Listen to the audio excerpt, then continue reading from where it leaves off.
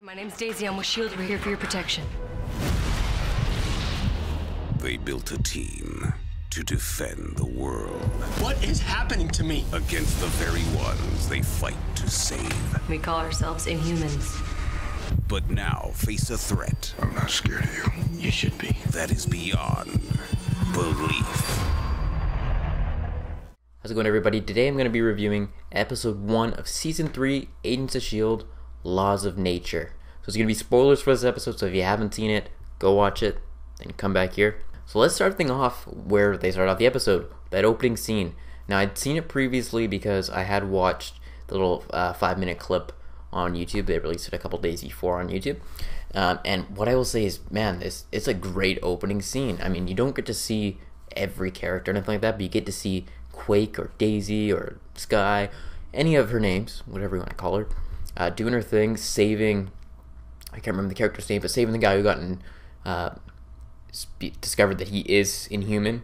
And I thought that was a great opening scene just to to let everyone know this is how this season's going to be. It's going to be Inhumans. We're going to be tracking these people down. then you get that opposition coming in, and you don't really know. You're like, these guys bad? And and I thought they were. I thought when I saw that clip, especially, I'm like, these are going to be, I guess, the team they're going up against in that season. But turns out, it is actually a character named Lash who is killing everybody. He's an Inhuman. He doesn't like these Inhumans just popping up here and there. And uh, it looks like I don't know if Coulson and that other team are gonna team up. There might be like, I don't really like you. You don't really like us, but we might need to team up in order to take down this guy. I think that's where I see this this uh, season kind of going, or at least the first half of it. What I will say about Lash, because that leads us into him. Uh, I I know some people have been complaining about his look. Like, uh, didn't, didn't really like the whole makeup of him. I mean, kind of looks like a Power Rangers villain. Uh, I didn't mind it. I got used to it right away. As soon as I saw him, I'm like, okay, this fits in the fits into the story. And you get to see Daisy and Lincoln trying to take him on, and it looks like they did a decent job on him. Like he he he had to run off. So I, I don't know. It doesn't seem super powerful right now, but I'm sure he's just like he didn't care enough to take him on. He's like, whatever, I'm just out of here. I'll this. I'll do this another time. Then you get Fitz kind of going out on his own.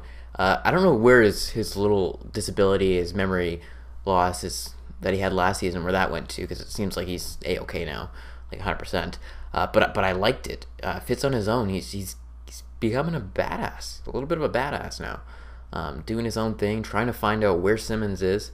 I mean, he, he loves her, so he's he's gonna do whatever he can, whatever it takes to get her back. But I like that. And then he comes back, and Coulson sees him. They kind of have that talk where Simmons is gone. You gotta let her go. And they see that scroll. I think it's a death on it.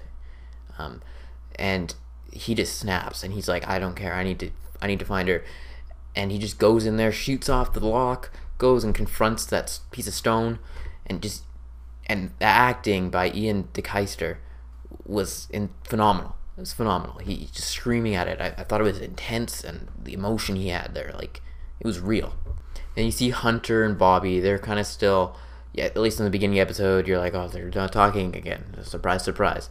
But it turns out that's actually not the case. They're kind of just kind of flirting, and he gets the ring back to her, and yada yada yada, and you, and you see all that happen. So I, I, I like that a little bit. I mean, it, it was maybe the least favorite part of the episode.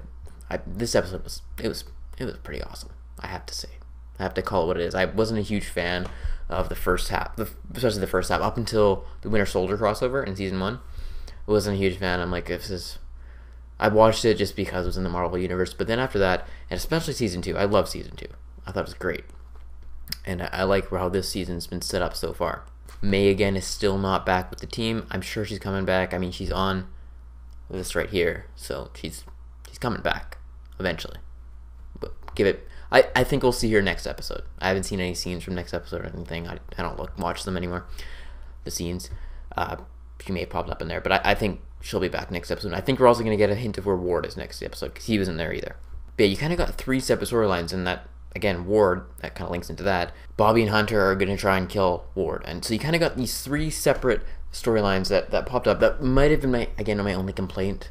Another one of my only complaints is uh, just they they felt the the three storylines they kind of float together with the Fitz one, uh, but that other one it just there wasn't a gradual flow into from the story um, per se. But again, I'm I'm nitpicking right now with with these negatives.